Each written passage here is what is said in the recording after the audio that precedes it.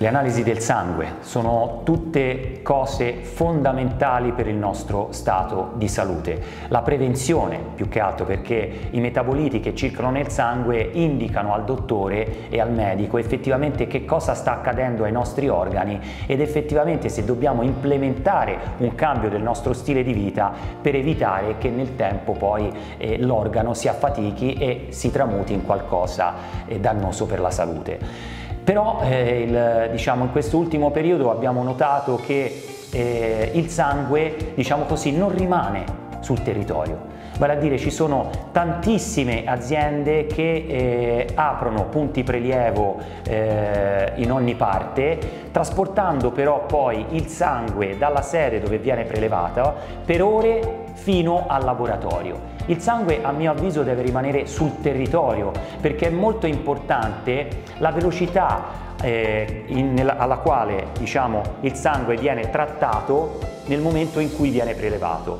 Perché se passano molte ore dal momento in cui il sangue viene prelevato dal paziente fino a che finisce nella strumentazione dove viene analizzata ci potrebbero essere delle modifiche della struttura chimica e della sua composizione che portano poi a un'analisi che non è attendibile per il, eh, per il paziente e quindi io credo che sia importante capire che mantenere il sangue sul territorio e consegnarlo a laboratori che sono sul territorio e quindi che possono dare delle risposte immediate e veloci è un punto importante per il medico stesso che effettivamente può interpretare quei dati nella maniera migliore e in sicurezza.